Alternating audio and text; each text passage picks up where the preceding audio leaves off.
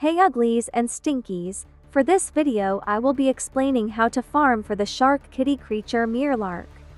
The Meorlark will be a new addition to the boosted gacha. The tasks to get a boosted gacha token are, grow 10 different boosted creatures to adulthood, complete all missions and claim rewards from 50 region missions as a boosted creature, travel 35,000 studs on land, travel 35,000 studs by swimming and travel 35,000 studs by flying. For those who don't know what a boosted creature is, there are four different types of boosts that can apply to creatures and can boost a creature's various stats, growth rate, chance of obtaining glimmer, and exchange rate of selling species for tickets. These boosts are randomly assigned to any creature every 12 hours and are indicated with a little symbol that appears on the View Creatures section on the top right of individual creature icon boxes in the creature inventory. These randomly assigned boosts were implemented with the intent and added bonus effect of encouraging players to play a greater variety of creatures. Region missions are heavily tied with each biome, acting as a set.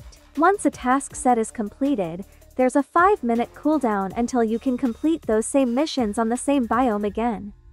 The land biomes are Central, Rock Faces, Desert, Flower Cove, Jungle, Mesa, Mountains, Pride Rocks, Redwoods, Swamp Hill, Tundra and Volcano Island.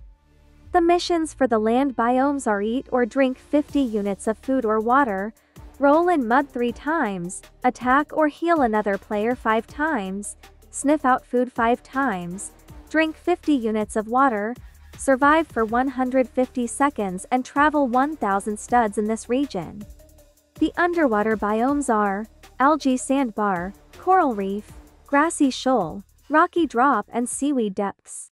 The missions for the underwater biomes are eat or drink 50 units of food or water, attack or heal another player 5 times, survive for 150 seconds, sniff out food five times and travel 1000 studs in this region.